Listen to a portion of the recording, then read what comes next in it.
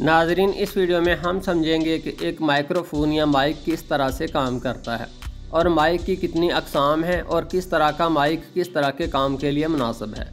सबसे पहले हम ये समझेंगे कि माइक दो तरह के होते हैं, एक डायनामिक माइक और दूसरा कंडेंसर माइक।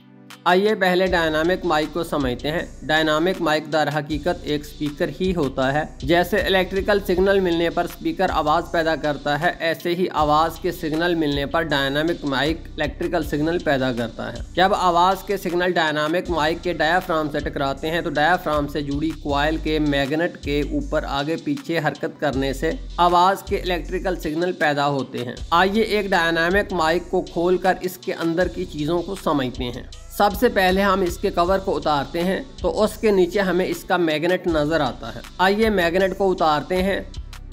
तो उसके नीचे हमें माइक का क्वाइल नज़र आता है। क्वाइल की दोनों तारें काट कर इसे भी बाहर निकालते हैं तो उसके नीचे हमें माइक का डायाफ्राम नज़र आता है। दरअसल डायनामिक माइक और स्पीकर एक ही चीज़ के, इनके काम की जगह के हिसाब से दो नाम हैं। आइए अब माइक की दूसरी किस्म को समझते हैं। ये कंडेंसर माइक्रोफोन या कैपेसिटर माइक्रोफोन है। कंडेंसर माइक के काम करने का उसूल डायनामिक माइक से बिल्कुल मुख्तलफ है। देखिए, जब भी किसी भी मेटल की दो प्लेटों पर पॉजिटिव और नेगेटिव करंट छोड़ा जाए। पॉजिटिव टर्मिनल पर पॉजिटिव चार्ज और नेगेटिव टर्मिनल पर नेगेटिव चार्ज स्टोर है जाता है। जूं जूं ये प्लेटें एक दूसरे के करीब आती जाती हैं, चार्ज की मकदार भी बढ़ती जाती है। कंडेंसर माइक भी ठीक इसी तरह से काम करता है। मेटल की दो प्लेटें एक दूसरे के बहुत ही नज़दीक होती हैं, जिसमें से ऊपर वाली प्लेट लचकदार होती है, जिससे ये आगे पीछे हरकत कर सकती है। जब कोई शख्स बोलता है तो उसकी आवाज़ की लहरें ऊपर वाली प्लेट के डायाफ्राम से टकराती हैं,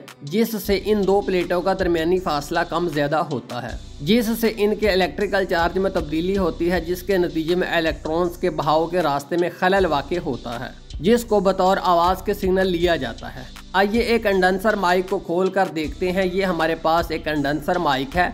सबसे पहले हम इसका डस्ट प्रोटेक्टिव कवर उतारते हैं तो हमें इसका डायाफ्राम नज़र आता है। आइए अब पीछे से माइक को खोलते हैं और इसकी तमाम चीज़ें बाहर निकाल लेते हैं। अब इसमें से वॉइस सेंसिटिव डायाफ्राम बाहर निकालते हैं। ये इसका डायाफ्राम है जो कि माहौल से आवाज़ के सिग्नल्स को महसूस करता है।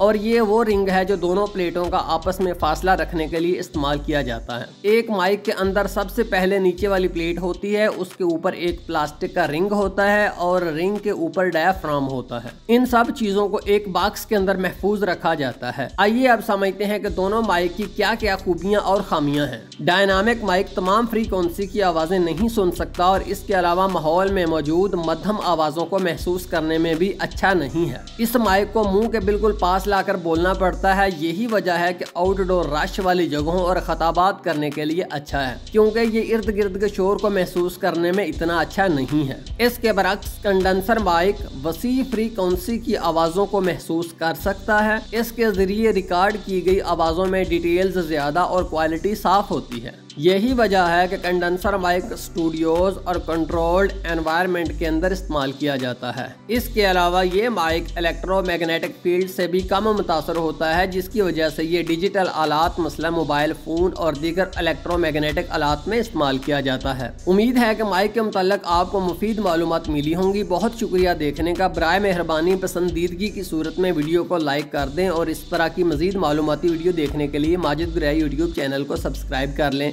बहुत शुक्रिया देखने का। अल्लाह हाफिज़।